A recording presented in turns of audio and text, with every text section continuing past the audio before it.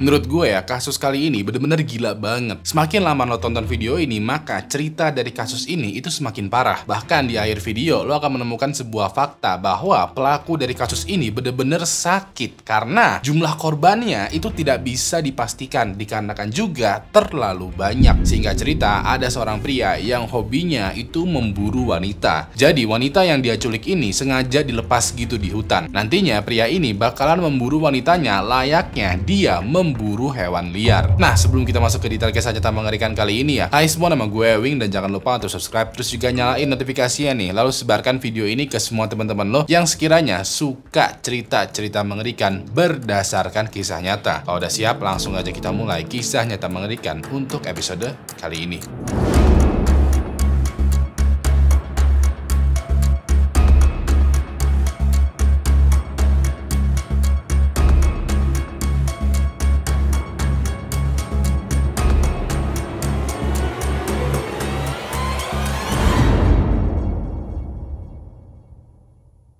Pada tanggal 13 Agustus tahun 1982, ada dua orang polisi yang lagi tidak bertugas sedang berburu santai di sebuah hutan yang ada di kota Anchorage, Alaska. Sedikit gambaran ya, kota Anchorage ini merupakan sebuah kota yang masih alami, penuh dengan hutan dan sungainya juga masih bersih banget. Letak kotanya ini di sebelah selatan negara Alaska dan hanya bisa diakses menggunakan perahu atau pesawat kecil. Bisa dibilang, kota Anchorage itu agak tertutup dikarenakan aksesnya cukup sulit dan terbatas. Pas mereka lagi jalan-jalan melewati hutan ya, dua orang polisi ini tiba-tiba dikejutkan dengan sebuah temuan aneh. Persisnya pas mereka lagi jalan di sebuah rawa, mereka menemukan sebuah sepatu boot yang di dalam sepatunya itu ada kaki manusia. Bahkan ya dari sepatunya ini ada semacam tulang gitu yang mencuat keluar. Dikarenakan mereka berdua polisi ya, mereka berdua langsung paham bahwa mereka baru aja menemukan jenazah manusia. Singkat cerita, mereka langsung mengamatkan TKP dan melaporkan temuannya ke petugas polisi yang ada di kantor. Persis besok harinya, petugas langsung mengolah TKP dan juga lokasi. Hasil dari temuannya adalah selain sepatu boot yang berisi kaki manusia, mereka menemukan sebuah pakaian, perban elastis, dan juga selongsong peluru kaliber 223 di sekitaran lokasi. Selain itu juga, begitu rawa ini digali, mereka menemukan tuh jenazah dari seorang wanita. Jenazahnya ini diduga telah meninggal sekitar enam bulan lalu. Di tubuh jenazah juga terdapat tiga luka tembak di tubuhnya. Walaupun terdapat tiga luka tembak, petugas notis bahwa di baju jenazah ini tidak terdapat luka bekas tembakan. Dari sini, petugas menyimpulkan bahwa jenazahnya ini bisa jadi ditembak dulu sampai meninggal, lalu dipakaikan baju baru dikubur di lokasi. Selain temuan ini, petugas menyimpulkan juga bahwa jenazah misterius ini itu ditembak dalam keadaan matanya ditutup. Secara mereka menemukan juga kain perban gitu yang panjang, yang besar, yang kemungkinan digunakan untuk menutup mata. Setelah seluruh bukti dan data ini dikumpulkan, jenazahnya ini dibawa ke rumah sakit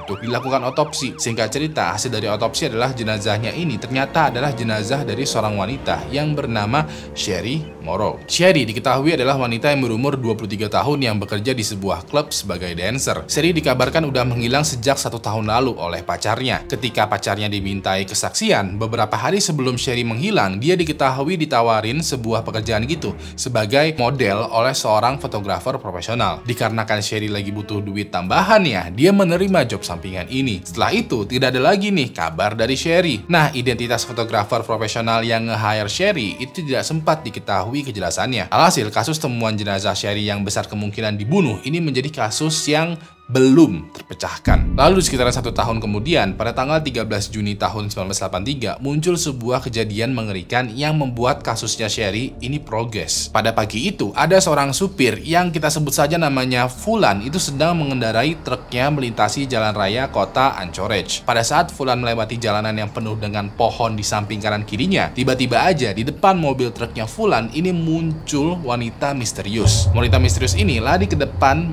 truknya Fulan dan penampilannya tuh kelihatannya agak tidak wajar. Menurut kesaksiannya Fulan, wanitanya ini tuh pakai baju kemeja putih yang kotor tapi nggak pakai celana dan juga nggak pakai alas kaki. Pas itu ya wanita misterius ini kayak melambaikan tangannya ke atas dan Fulan notice bahwa di salah satu tangannya ini itu ada borgol. Dirasa wanita ini membutuhkan pertolongan darurat, Fulan lalu menghentikan truknya. Wanita ini menghampiri tuh truknya Fulan. Tanpa pikir panjang ya, wanita ini langsung meminta izin untuk masuk ke dalam truknya Fulan. Fulan bukain tuh pintu truknya dan wanita ini langsung masuk, duduk di samping Fulan. Dengan nafas yang ngos-ngosan ya, wanita ini bilang ke Fulan, cepat pergi dari sini. Tolong aku, bawa aku menjauh dari sini. Fulan yang bingung ini ikutan jadi panik nih dan langsung jalan lagi lah truknya. Di perjalanan, wanita ini meminta Fulan untuk membawanya ke sebuah motel terdekat yang sekiranya aman. Begitu sampai di motel, wanita ini langsung turun dari truk dan masuk ke dalam motel. Pas itu, wanita ini meminta bantuan resepsionis untuk dihubungi ke polisi. Dirasa situasinya darurat banget ya, resepsionis ini nurut aja dan singkat cerita, polisi datang tuh ke motel bertemu dengan wanita misterius ini. Pas itu, polisi melakukan tanya jawab dan singkat cerita, ternyata wanita misterius ini bernama Cindy Paulson. Sini diketahui berusia 17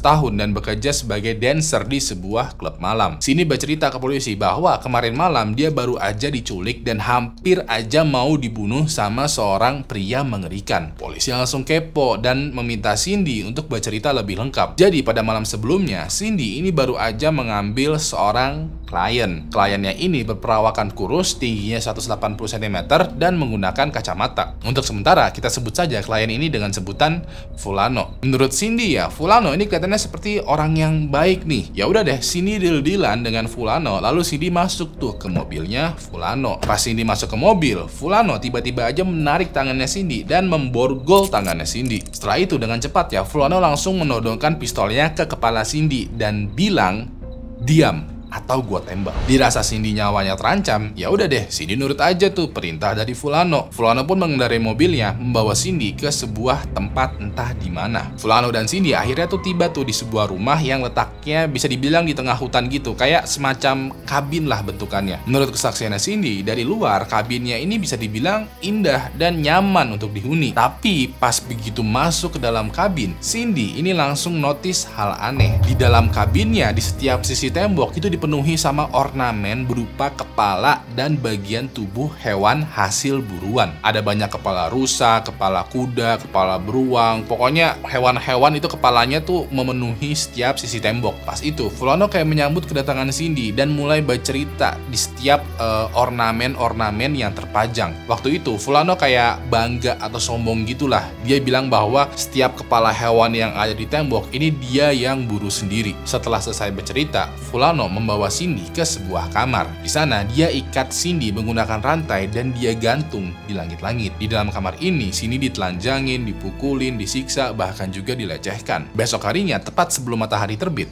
Cindy yang diborgol ini matanya ditutup gitu sama perban. Sini lalu dibawa keluar kabin, dipaksa masuk ke dalam mobil, dan mereka pun berkendara ke sebuah tempat lain yang entah berantah lagi. Nah, sekiranya mobilnya berhenti ya, Fulano turun dari mobil dan berjalan menjauh dari mobil. Sekira suara langkah kakinya Fulano udah gak kedengeran nih, Cindy itu mencoba mengintip tuh dari balik perban. Pas itu, Cindy melihat bahwa dia sekarang berada di tengah hutan yang di dekatnya itu ada semacam uh, landasan pacu pesawat kayak sebuah bandara kecil gitu. Di situ dia juga melihat kalau Fulano ini kayak sedang memasukkan tas besar yang berisi berbagai macam senjata ke dalam bagasi pesawat kecil. Dikarenakan Cindy melihat Fulano memasukkan tas berisi banyak senjata ya, Cindy berpikiran, wah, gue bakalan gak selamat nih gue kalau terus-terusan diam di mobil, gue bisa mati nih. Ya udah deh, dirasa Fulano lagi lengah ya. Cindy langsung membuka pintu mobil, lalu berlari sekencang mungkin menjauh dari Fulano. Pas itu, Fulano sempat notice bahwa Cindy itu sekarang lagi berlari kabur. Namun dikarenakan Cindy larinya kenceng banget, seakan-akan nyawa adalah taruhannya, Fulano tidak bisa mengejar Cindy. Alhasil, Cindy berhasil kabur ke jalan raya dan di situlah dia ketemu dengan truk yang sedang dikendarai oleh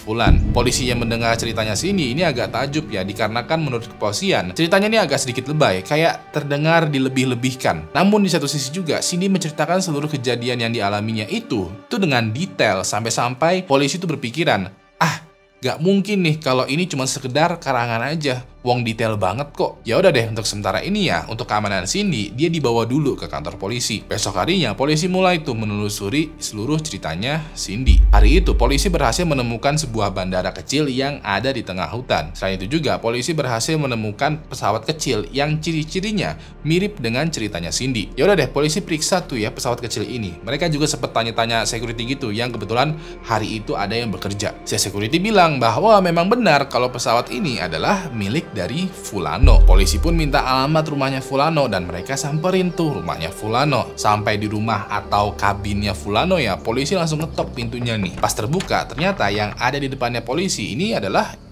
Ya, Fulano. Menurut kesaksiannya polisi ya, ciri-ciri Fulano ini juga persis seperti apa yang diceritakan oleh Cindy. Fulano waktu itu nanya, kayak ada apa ya pak? Tumben-tumben aja nih saya didatengin polisi. Polisi waktu itu bilang kalau dia ingin meminta keterangannya Fulano dikarenakan ada laporan yang menyudutkan Fulano. Fulano sempat bingung, cuman dia sempat mempersilahkan polisi untuk masuk dulu tuh ke kabinnya Fulano. Dalam kabin ini, polisi notice bahwa di seluruh dinding kabinnya Fulano ini juga penuh dengan kepala hewan hasil pemburuan. Sesuai lagi dengan keterangannya Cindy. Polisi lalu menginterview singkat Fulano sambil juga mengumpulkan data atau bukti. Pas itu, polisi sempat memeriksa kamar-kamarnya Fulano dan kali ini mereka tidak menemukan tuh bukti atau bahkan indikasi kekerasan. Cindy kan cerita kalau dia tuh sempat digantung, disiksa, bahkan juga dilecehkan di kamarnya Fulano. Nah, pas polisi periksa, kamar-kamarnya Fulano ini bersih aja, kelihatan normal. Nah, Polisi ini mulai aneh nih. Selain itu, polisi meminta alibinya Fulano. Polisi kayak bertanya, apa yang Bapak lakukan kemarin malam dan ada saksinya nggak? Fulano menjelaskan bahwa kemarin malam dia itu lagi hangout di rumah teman-temannya, minum-minum. Ada saksinya juga, yaitu teman-temannya Fulano. Dirasa punya alibi ya, polisi yang lain pun menghampiri teman-temannya Fulano. Hasilnya adalah, menurut kesaksian teman-temannya Fulano, pada malam kemarin, Fulano emang beneran nongkrong sama teman-temannya semalaman. Dirasa sekarang alibi dan saksinya Fulano ini kuat ya, investigasinya pun tidak mengalir ke arah Fulano, melainkan ke arah Cindy. Polisi menduga, walaupun ceritanya Cindy ini mempunyai detail dan juga banyak kecocokan, besar kemungkinan adalah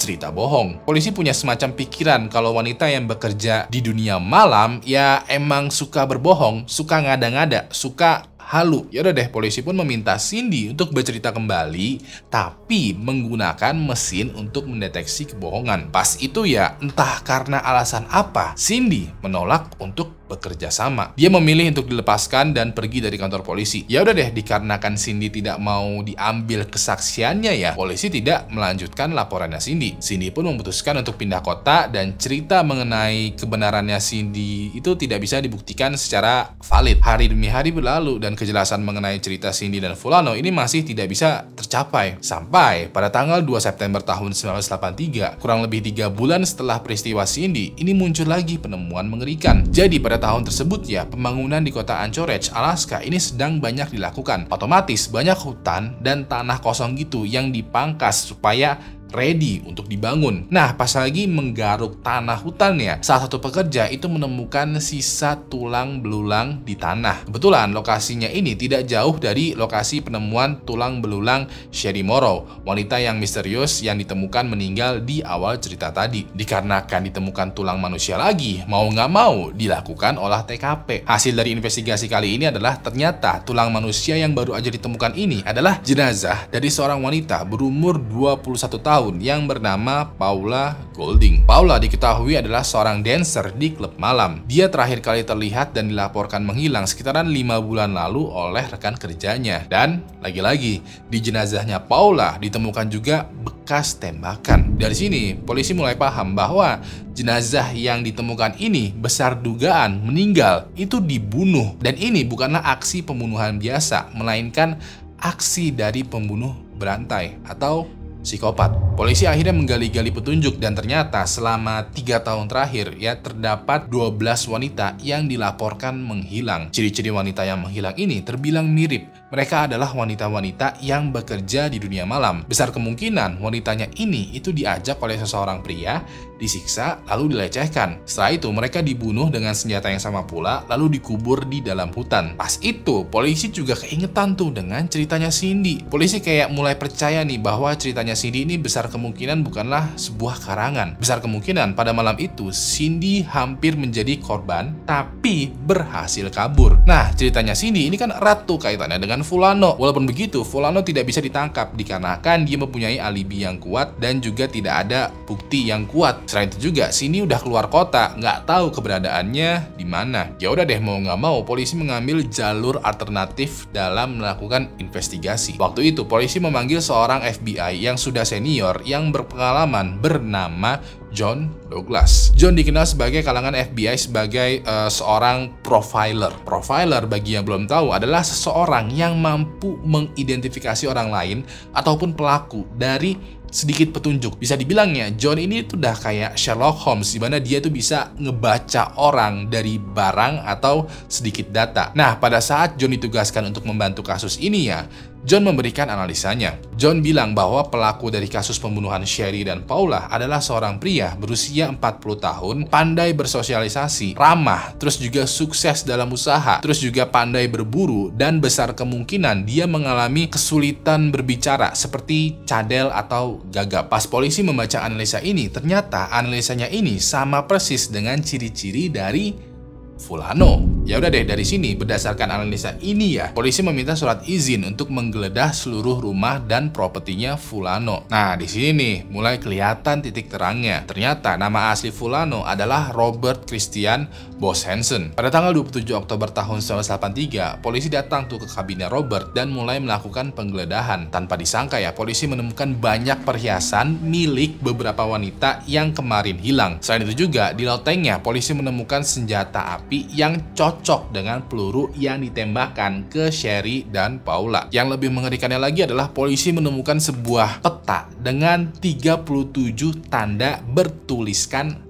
X. Tanda X ini ketika dilihat lagi ternyata cocok dengan lokasi di mana jenazahnya Sherry dan Paula ditemukan. Robert pun ditangkap dan diinterogasi lebih lanjut. Pas saat interogasi ya, Robert sempat menyangkal seluruh bukti yang ditemukan oleh polisi di rumahnya. Dia bilang kalau dia nggak tahu apa-apa soal senjata dan juga peta ini. Dia juga bilang kalau dia tuh punya alibi yang kuat loh. Namun seluruh alasan ini itu dipatahkan. Pas proses interogasi, teman-temannya Robert sebenarnya juga diinterogasi di ruang orang yang berbeda. Pada saat itu, teman-temannya Robert itu mengaku bahwa sebenarnya alibinya Robert itu palsu. Mereka pada hari itu bilang, kita semua memang hangout, memang minum-minum, tapi Robert tidak ikutan. Dari sinilah alibinya Robert menjadi tidak valid. Karena tidak bisa beralasan lagi ya, Robert akhirnya mengakui bahwa dia telah membunuh empat orang wanita. Dua wanitanya ini adalah wanita random yang pernah ditemukan di tahun 1980. Udah lama tuh ya. Dan dua wanitanya lagi adalah Sherry dan Paula. Walaupun begitu, polisi nggak langsung menerima mentah-mentah pengakuannya Robert. Polisi yakin bahwa Robert membunuh lebih dari empat orang karena peta yang ditemukan di rumahnya Robert itu terdapat 37 tanda X. Tanda X ini seperti yang gue bilang tadi ya, kalau dicocokkan itu adalah lokasi di mana Sherry dan Paula dikubur. Kalau tanda X ini adalah kuburan dari korbannya Robert, artinya korbannya Robert itu nggak cuma empat orang aja, tapi bisa jadi mencapai 37 orang. Nah, polisi sempat tuh mendatangi lokasi yang ada di peta yang ditandain uh, tanda X. Tapi pas sampai sana, pas digali, mereka hanya menemukan 8 jenazah saja. Sisanya itu nggak tahu ke mana. Besar kemungkinan namanya juga hutan ya. Jenazah yang seharusnya dikubur dengan tanda X ini itu dimakan sama hewan liar atau ya nggak jelas keberadaannya. Polisi terus mendesak Robert supaya dia memberikan lokasi jelas jenazah yang udah dia kubur dan juga uh, berapa persis orang yang sudah menjadi korbannya. Robert pun di sini membuat kesepakatan dengan polisi. Robert waktu itu bilang bahwa dia mau diajak kerjasama, dia mau aja menjelaskan apa yang dia lakukan terhadap korban korbannya dan di mana dia menguburkannya asalkan dia hanya diadili dengan kasus empat pembunuhan aja. Nah, demi untuk mengetahui nasib korban ya, polisi setuju tuh dengan permintaan Robert. Robert pun bercerita dan seperti yang gue bilang di awal video, semakin lama lo tonton video ini, maka semakin mengerikan kasusnya. Robert pun bercerita bahwa kadang hampir setiap malam Robert tuh suka tuh jalan-jalan menggunakan mobilnya di daerah hiburan malam yang ada di kota Anchorage. Pada saat jalan-jalan ini, target dia adalah wanita muda yang bekerja sebagai dancer di klub malam. Robert bilang bahwa wanita yang dia cari adalah wanita yang lagi jalan sendirian atau berduaan lah dengan temannya. Pas itu Robert bakalan menghampiri wanita ini dan Robert bilang kalau dia adalah seorang fotografer. Robert lalu menawarkan wanita ini untuk ikut dengan dia untuk melakukan sesi fotografi. Dikarenakan Robert mengiming-imingi duit tambahan, kebanyakan dari wanita ini mau. Nah, kalau wanitanya ini lagi sendirian, dia bakalan langsung diajak masuk ke dalam mobilnya Robert. Tapi kalau wanitanya ini lagi nggak sendirian, Robert bakalan janjian dengan wanitanya ini di besok hari, di mana wanitanya ini diminta untuk datang sendirian. Begitu wanitanya ini udah masuk ke dalam mobilnya, Robert langsung memakaikan borgol dan menodong pistol ke kepala sang wanita.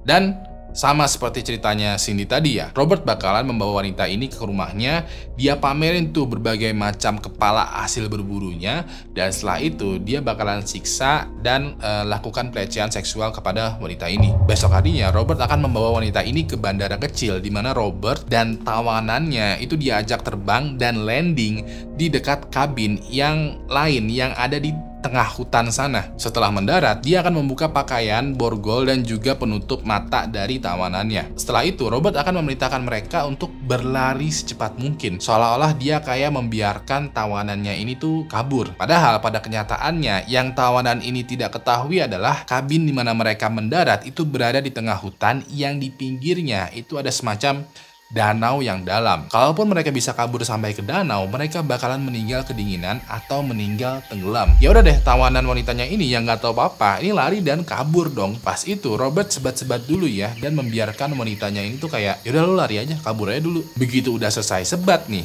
Robert lalu dengan senjatanya mulai memburu wanita tawanannya ini. Robert melakukan hal ini karena dia menganggap wanita yang dia buru kali ini adalah seekor rusa. Nah, pada saat berburu rusa, terkadang kalau ketangkap, Robert langsung menembak mati rusaknya ini. Terkadang juga kalau ketangkep, Robert bakalan sengaja melukai rusanya ini dan dibiarkan kabur lagi. Begitu terus sampai rusanya ini itu meninggal bukan karena dibunuh, melainkan dilukai, dibuat kabur, dilukai, dibuat kabur, begitu terus. Nantinya kalau rusanya ini udah sekarat ya, Robert itu bakalan langsung menembak untuk memastikan hasil buruannya itu meninggal dunia. Setelah itu, Robert bakalan menggantikan baju dari korbannya dan dia bakalan kubur korbannya di tanah kosong yang ada di hutan. Dengan ini, setelah proses pengadilan, Robert dijatuhi hukuman penjara seumur hidup tanpa ada kemungkinan untuk bebas. Dari kesepakatannya, polisi pada akhirnya menemukan banyak sekali kuburan dari korbannya Robert. Pada saat itu, polisi menemukan total 17 kuburan. Bisa dibilang ya, dari 37 tanda X di peta yang Robert buat, 17-nya dikonfirmasi kalau itu adalah kuburan. Sisanya sampai sekarang,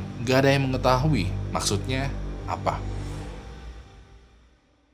So, itu tadi adalah cerita tentang seorang pria yang hobinya memburu wanita. Gue mau berterima kasih banget nih buat lo semua yang udah nonton video ini dari awal sampai habis, terutama juga kepada member Anti Halu Halu Club. Yang mau ikutan join membership Anti Halu Halu Club, klik aja tombol join di bawah ini atau link yang ada di deskripsi. Kalau sekiranya lo masih butuh asupan video horor, lo bisa kunjungin video yang ada di sebelah kanan karena di sana gue bercerita tentang seorang pria yang berhasil mengaktifkan cheat uang tidak habis-habis di dunia nyata. Terakhir nama gue Ewing dan sampai jumpa lagi di kasus mengerikan selanjutnya. Good night.